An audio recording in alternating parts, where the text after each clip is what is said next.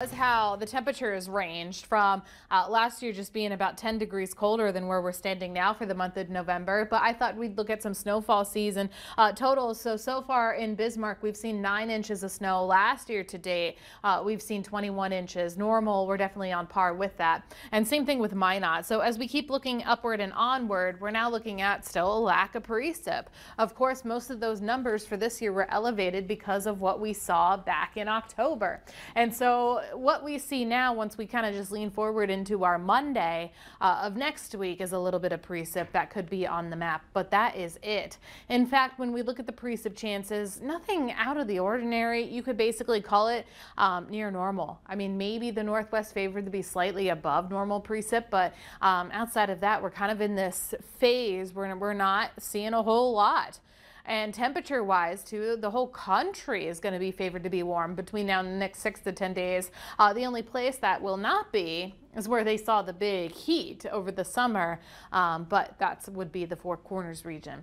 Now, we are warmer today. We're going to keep that snow melting in Williston because of our warm front, which is now along I-29. It was uh, along the Highway 83 area this morning, and so we're just going to continue to filter in more of that milder air and kicking out that cold air that's kind of uh, stuck into International Falls to Minneapolis at the moment. Uh, we can see that west wind has filtered in. They are really starting to pick up at the moment. And so from Dickinson, the Garrison to Minot, we're stuck right around 30 mile per hour wind gusts. So whether you're still going home from the holiday weekend, you're going back home for your commute, or even kids coming off the bus stop, uh, the rest of the day will be in the 40s, at least for the daylight hours. It's once we hit 5, 6 o'clock, well, now we're stuck within those 30s and we're still seeing that clear sky. So we're warm today, certainly about 10 degrees warmer than even yesterday. So that makes a difference in addition to all of that blue sky. Uh, we keep going to the teens and 20s tonight, we start to drop that wind as soon as we go into tomorrow. I do think tomorrow is going to be better.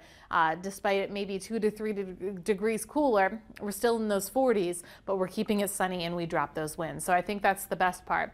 So as far as the rest of today goes, our peak wind will be right between now to 4 o'clock this afternoon. They'll stay out of the west as that warmer air still filters in.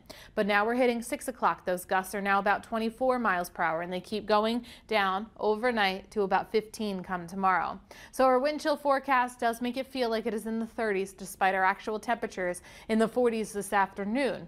We go into the evening hours to the teens we go and then it kind of stays that way as we trickle into our day tomorrow. So Krista, overall our seven day forecast stays on that quiet side. The only nuisance again is a little bit of snow from a cold front that'll come through potentially on Monday. That's a long time to go without any really major weather events. Yeah, it's been a while. I think we'll, we're still kind of relieved from last year, so I think that's a plus. yeah, I don't think anyone's complaining.